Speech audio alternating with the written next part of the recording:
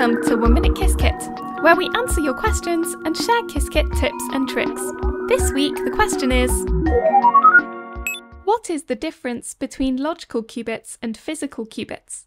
When we create a quantum circuit in Qiskit and then run it directly on a quantum device or simulator, the quantum information of each qubit in our circuit is stored in an individual qubit on the device or simulator. For example, we can create a circuit with a qubit in the 1 state. As the qubit is initially in the 0 state, we apply an X gate to prepare the 1 state. If we run this directly on a quantum device or simulator, then one physical qubit on our device or simulator corresponds to one qubit in our quantum circuit. However, real qubits are subject to noise from the environment, which causes errors in the states of physical qubits. To protect the qubit's information, we can encode a single qubit's information in multiple physical qubits. The result is a logical qubit spread out across however many physical qubits are used to encode it.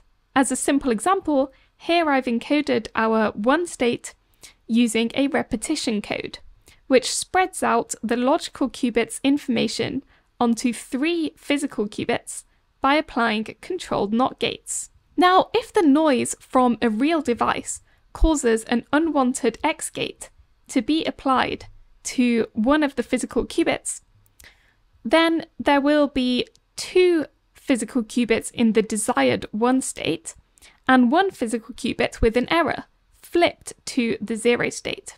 To recover the logical qubit's information, we can then check what state the qubits are in. We check whether there are more qubits in the zero state or the one state. Here we see there's two qubits in the one state and one in the zero state, indicating that there was a single bit flip error.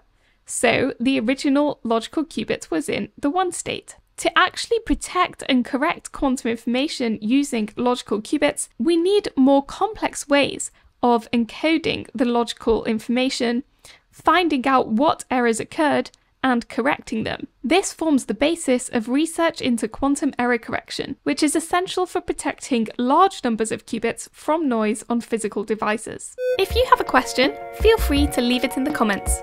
Subscribe for more 1 Minute Qiskits as well as other quantum and Qiskit related videos. Thanks for watching, bye!